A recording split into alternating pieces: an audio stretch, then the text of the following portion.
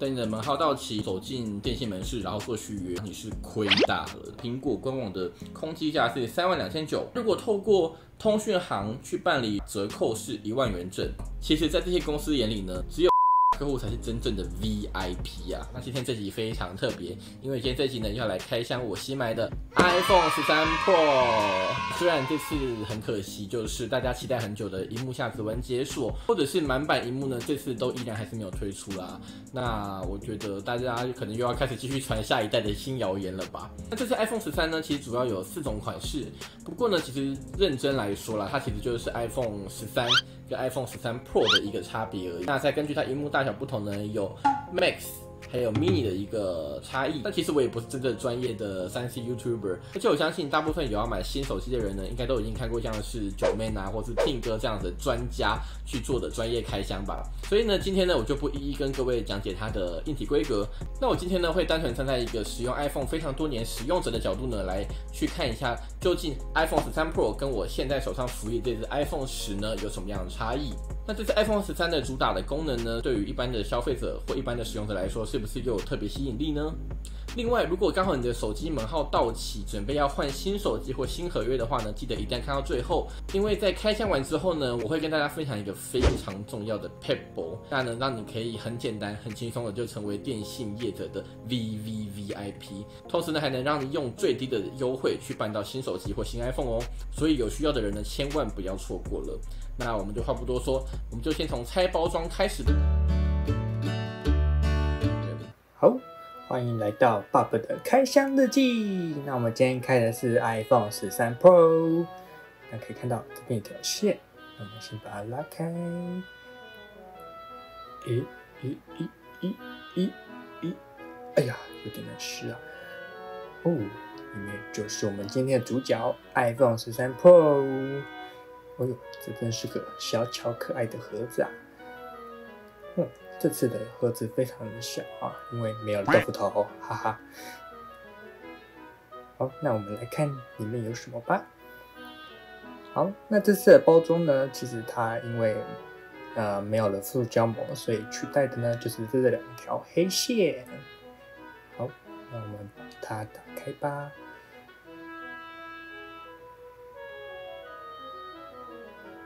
轻轻松松就可以把黑线撕起来喽。那今天主角就要登场喽！噔噔噔噔噔噔噔。那我先听一段 ASMR。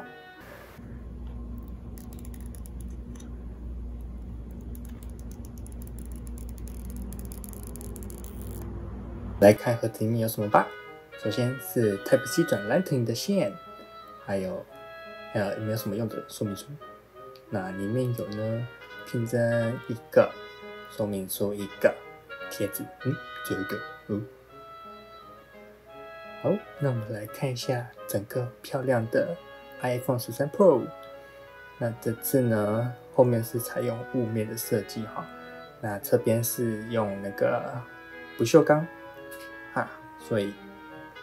摸起来好像还不错，触感不错。那底部呢，开的孔，嗯，有点不对称。摸起来的手感呢，嗯，方方正正的，没有像之前的这么圆滑。那我们稍微的比较一下这两个重量，嗯，整体来说好像差不太多。嗯，不过 iPhone 十三好像稍微重手一点。好，那。可以看到，哎，满满的指纹呐！啊，如果想要裸机使用的朋友呢，嗯，这可能是一个困扰呢。哇，都是指纹。好的，开启豆。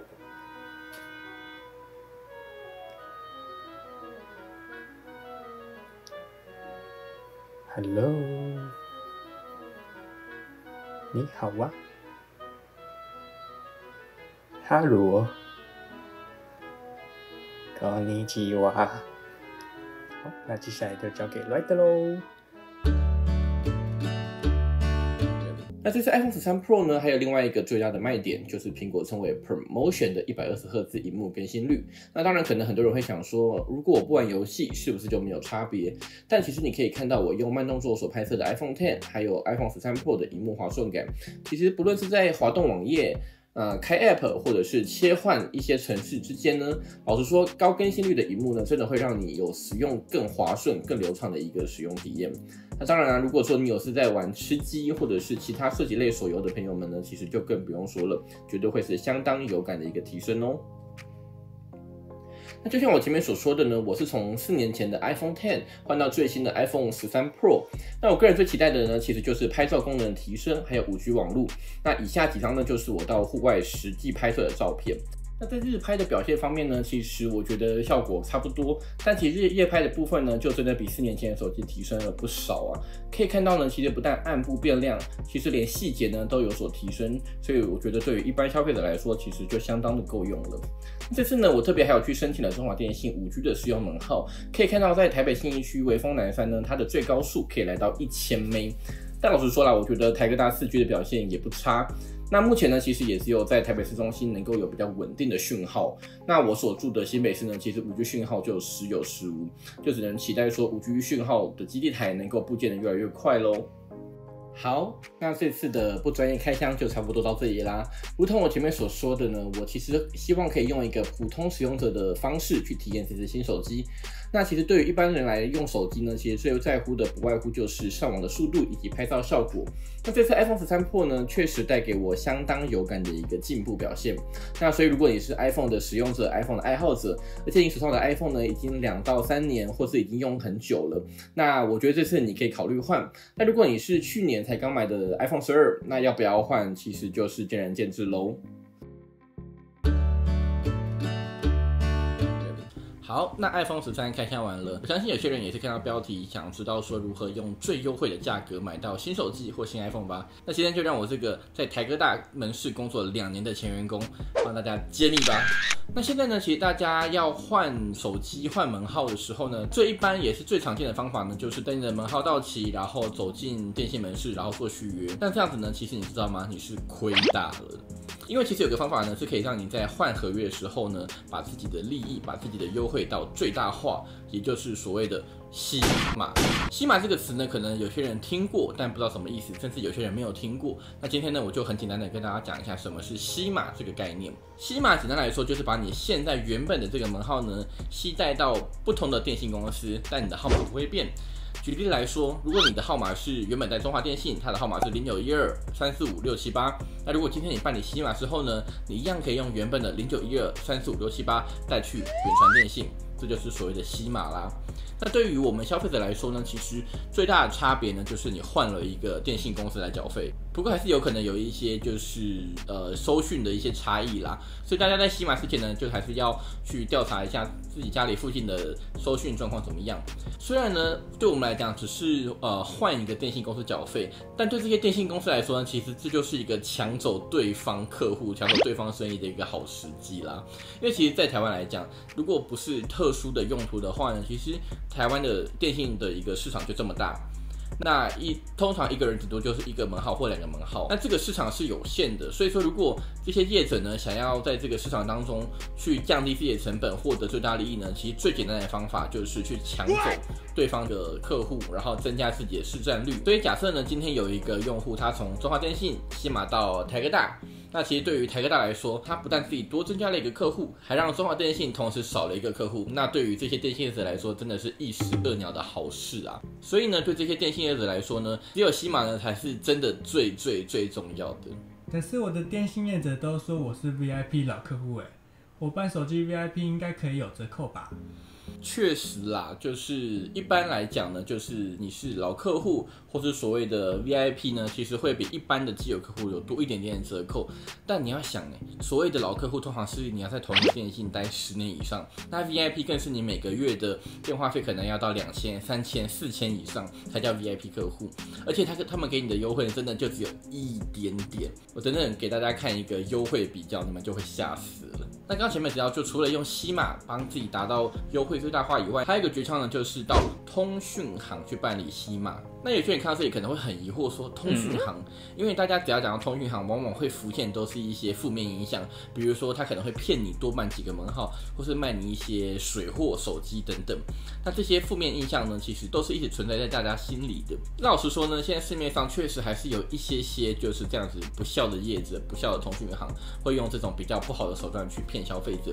但其实现在呢，也有不少的通讯行，尤其然后甚至可能是连锁通讯行呢，他们是愿意把自己的呃优惠折扣摊在阳光下给大家看的。那大家呢，也可以拿这些优惠、拿这些折扣去做比较，然后帮你自己找到最大化的利益。那我自己呢，也是从好几年前就开始帮我自己，然后帮我自己的家人，去用这样的方式呢，去办了门号以及手机。那这么多年来都没有什么问题，所以我还是建议大家可以去试试看。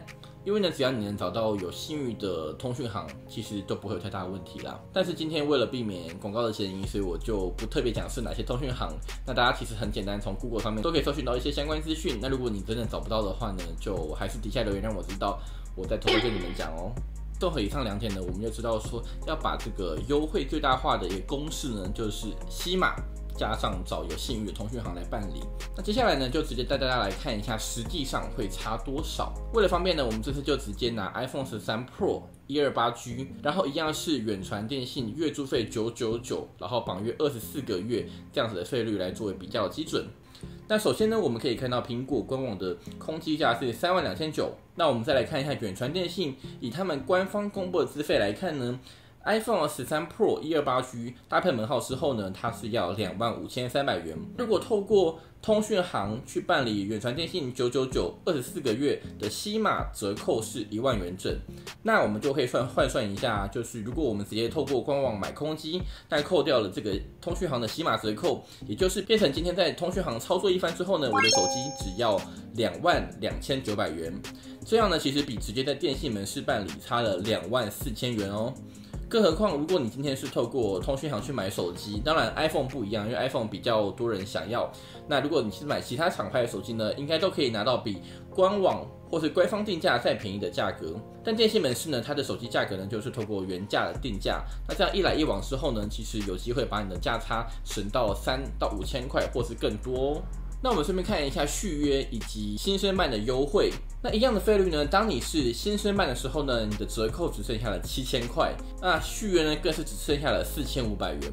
而且老实说呢，其实这个是通讯行的折扣。那根据我自己以前在电信门市做的经验呢，如果你今天是跑去电信门市办理续约，你手机的优惠呢可能连四千五都没有。所以你还相信什么叫做老客户续约优惠吗？其实，在这些公司眼里呢，只有西马客户才是真正的 VIP 啊。好啦，那今天讲这么多呢，希望就是电信公司看到之后不要来检举我。不过呢，其实这个也算是一个合法，而且已经是算是公开的秘密吧。但其实应该还是有一些人不知道，所以说今天就跟大家说喽。那如果觉得今天这集有用的朋友们，请帮我分享出去，给一些正要准备换手机或是换电信合约的人，让他们可以省下更多钱哦。而且呢，其实透过通讯行不只能够让你买到优惠价格的手机，其实还有更多的操作方法。那这个未来我有机会再开一集跟大家另外分享啦。总之，身为赚钱辛苦的小资族呢，我们所努力赚到的每一分钱都应该要精打细算才对吧？